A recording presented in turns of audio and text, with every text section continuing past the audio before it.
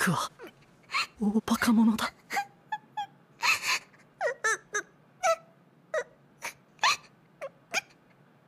僕には何も見えてなかった。いや見ようとしてなかったんだ。この子は天使でもなければ女神でもない。ただの寂しがり屋な女の子。ごめん。キャロバ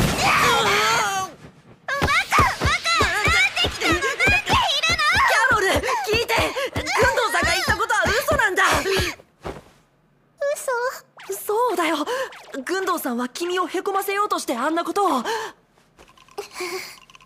キャロル？うんじゃ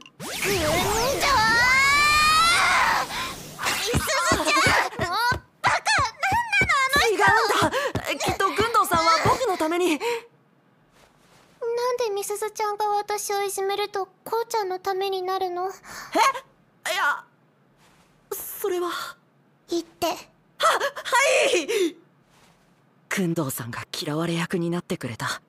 キャロルがこんなに自分をさらけ出してくれた。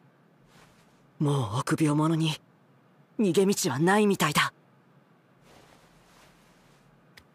軍藤さんは背中を押してくれたんだよ。僕が思いを伝えられるように。愛してるよ。キャロル。遅くなってごめん。